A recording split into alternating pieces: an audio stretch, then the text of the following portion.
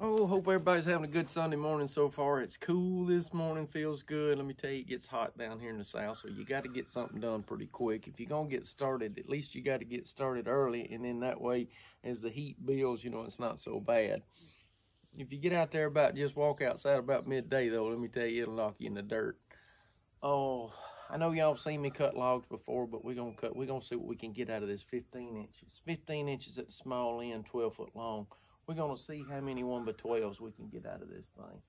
Oh, I'm way behind on stock, and I'm going to try to start doing that.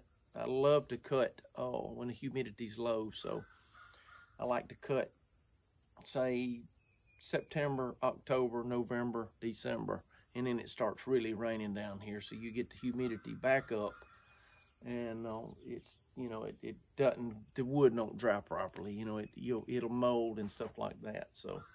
We'll walk you through this right here a, is a cut and how I stack it and everything and uh, to air dry it. Oh, Paige, bless her heart, you know, she left two weeks ago and got to Canada and got sick. And they put her in the hospital and they, they tested her for Lyme disease. And it, you know, it, do, it didn't come back positive because the Lyme disease test is an old test and it, it doesn't always you know it doesn't always detect. There's there's a lot of different uh, varieties of Lyme disease and if it's not the exact one then it won't come back positive and it didn't. But that's still probably what they're they're 90% sure or 95% sure that that's what it is Lyme disease. So she spent a week in the hospital and I guess when she was you know when we were up in uh, on the river at the river cabin we noticed a bite. I figured it was a chigger or a red bug, whatever you want to call it. But there was no tick. And my understanding was a tick had to be on you for 24 to 30 hours before you can it can actually transmit that disease to you. But this has got to be what it is because a month later, you know, she gets back to Canada and gets sick. You know, you can see she took a picture of it and you can see the bullseye around the bite. So has to be that right there. She's finally, she spent a week in the hospital. She finally got out and uh, she's feeling a little bit better. So I think she did a video yesterday. So she should have it uploaded today too, along with this one on my channel.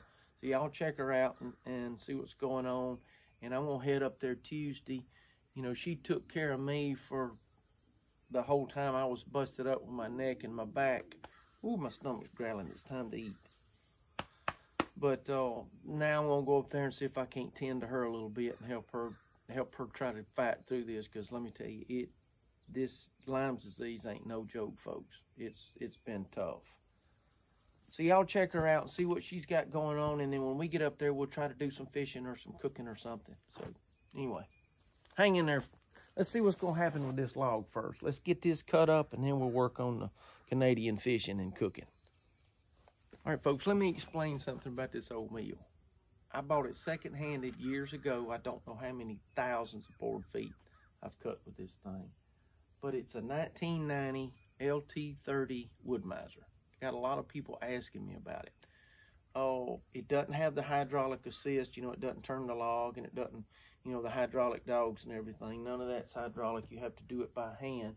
But I've, I've done it so long with this mill I used to have a hydraulic mill and it was nice, but I've done it so long with this particular mill that uh, I think I'm actually faster than the hydraulics because I can jump over here, grab a peavey, flip the log, and it's just, it's it's a lot more work, but it keeps you, uh, you know, keeps you in shape anyway. But I hadn't been using this thing because you remember my neck, my back, and all that stuff, so I'm just now getting back into it and I've got to get caught up on my lumber cutting. But uh, it was, it would only cut 16 foot lumber and I added six foot to the frame, took the axle out from under it and ground mounted it right here. And that way I can cut 22 foot lumber now. So super efficient. It's got old 18 horse Briggs and Stratton on it. And let me tell you, she runs like a sewing machine. Y'all hanging in, let's see what we're gonna get out of this little old log.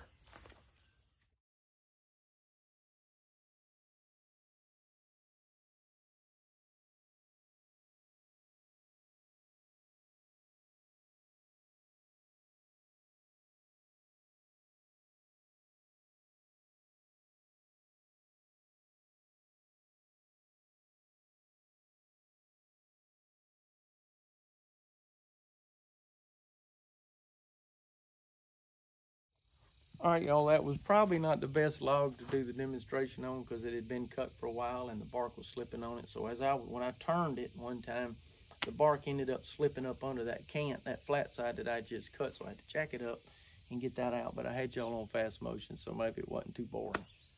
Uh, wanted to get 12 1 by 12s out of it. It had a little crook in it that I didn't see. ended up getting 10 1 by 12s, two 1 by 8s, and a 1 by 10 out of it. Not complaining. But by the time I clear it up and get all the all the round off of it, I don't like uh, I don't like that round like you get when you go to the you know the lumber company. You you know you get a two by six and it's it's it's half bark on on one side. I can't stand that. So I try to clear everything up, and when it hits that stack over there, it's right. So I don't when I get to building, I don't have to pick through it and and cut this part of it out or whatever because it's got half bark on it. I want both sides clean and clear where I can work with it. If it does, if I when I cut a lot of stuff like that, most of the time I'll make a stack and I'll make catfish boxes out of that part of it because uh, you know catfish don't care if it's a little crooked or if it's got a little bark on it. They don't mind. It don't matter to them.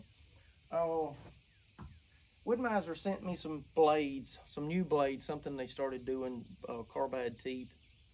And I don't know if it was the, the two that I've gotten, but the, the two that I've used so far, they cut they cut rough. They cut a lot rougher. They cut fast and they last a long time and you can't sharpen them. Either they, they get dull after a day's work or whatever, and uh, or they, you know, the band pops or whatever, and then you end up discarding it. But you can't resharpen them because that uh, that grinder down there can't handle that carbide. But they do cut rougher, so if you like the saw marks, this is definitely the blade you need to give a try to, you know, with. But if you want it super smooth, no, you know, some of the other stuff they got cut super smooth, what I've always used. Just now trying these out. But uh, it cuts fast, though. It does cut fast. And like I said, it's the, the blade life, you know, the the board foot that you cut per blade is a lot more than you would one of these other ones. But one of these other, the older blades or the, the original blades that I use, I'd cut a thousand foot. If it was clean wood, I could get a thousand foot out of them most of the time, I'm going to say between 500 and 1,000 feet, just depending on what you're cutting. And then I had to resharpen it, which is fine because I don't mind. It don't take but a minute to, to knock the uh, knock the hydraulic weight off of this band right here, pop it off and put a new one on it, and you'll be good to go again. But you can watch and you can you can listen to the engine and all that. You can tell when your blade's getting dull. You know, it'll start, you know, you can feel it laboring. I mean, it's getting pretty bad and you're going super slow with it or when your blade starts dipping and diving, you can you can watch that and you know for sure that uh, that you need to change. But you can hit something. I've hit something with those you know those other blades. You can hit one little nail and just clip it or something, and it'll chatter. It'll make uh, it'll make these saw marks. But uh, if you want, I mean, if you're going to run it through a planer, it's not going to make any difference anyway. But uh, I like it because I do like the saw marks it looks more, you know, like the old circle saw stuff. But yeah, 10, 10 1 by 12s, two 1 by 8s, and a 1 by 10 out of out of 15 inch log, that ain't too bad. Let's get these things stacked up. I'll show you how to stack them. Won't take but a minute. And uh, get these things drying. All right, folks, here we go. This is not the way I would like for it to be. I would I would love to have a gap wider than this between these stacks, just because of the airflow. And I'll tell you, I'll explain that in just a second. Um, you want your foundation. It doesn't have to be level. It just has to be the same. It has to be flat. You know, if it's if it's at a level, or if it's going downhill like this one is, it don't matter. It's just long your your foundation's level because that lumber's going to dry like that. So if you've got you got one on the end or two on the end down there that's like this, then that lumber with all the weight that you keep stacking on top of this, and make sure it's a good foundation because it will bog it in the ground. This stuff is heavy. But you don't want a twisted, you know, twisted lumber, so you want everything to be flat. I put a one inch stick between, uh, between them probably every three feet. It just depends on what you're cutting. I mean, if you're cutting thicker stuff, you don't have to have as much, but I like on one inch stuff I like to go uh, about three feet between my sticks, and in that way it'll keep everything from warping in between, because you don't want it to, if it doesn't have that support in the middle, one of them might try, it might, you know, they might get a little crooked.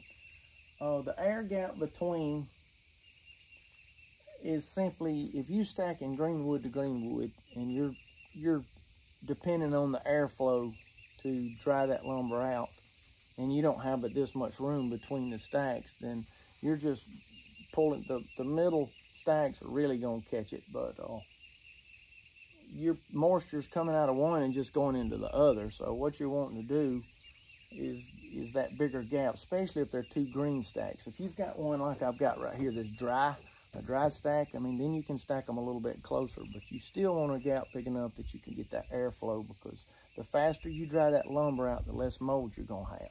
Humidity, if you can cut, I always try to cut oh, on low humidity months and in that way or weeks or whatever.